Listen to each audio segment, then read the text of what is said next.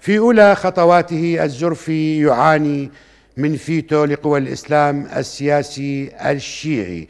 هل هذا الفيتو هو الخوف أم التخوف إذا جاز التعبير من السيد الزرفي؟ أم هنالك أسباب أخرى أنت وغيرك يعتقد بها؟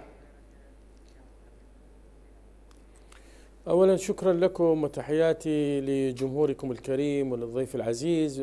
شوف بلا شك إحنا كنا في برنامج سابق نتحدث عن تكليف علاوي وقلنا في وقتها أن علاوي هو قريب من المعسكر الإيراني وقريب من القوى السياسية آه، يعني التي آه، قريبة أيضا من المحور الإيراني. اليوم العكس تماما. يعني الرئيس المكلف الجديد هو قريب من المعسكر الأمريكي ولذلك تجد أنت بيان الرفض كان سريعا لأنه آه، المعسكر الإيراني كان واضح جدا أن هذا المرشح آه، أكيد سيقطع اذرعته في موضوع الأحزاب ذات الأجنحة المسلحة.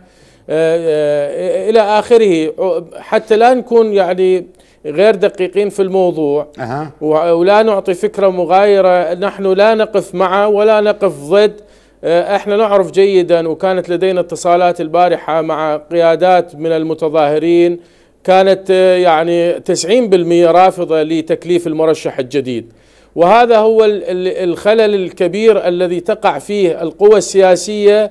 والذي أكدنا مرارا وتكرارا أن يعني لا يمكن أن يقسم العراق إلى معسكرين معسكر إيراني ومعسكر أمريكي وأن يكون الصراع الموجود يعني فوق السطح هذه الضربات المتقابلة. هناك صراع آخر تحت السطح ومن خلف الكواليس. ويعني آه، آه، هذا هو الذي أتى بالسيد عدنان ولذلك سيد هو المعسكر القريب من الأمريكان.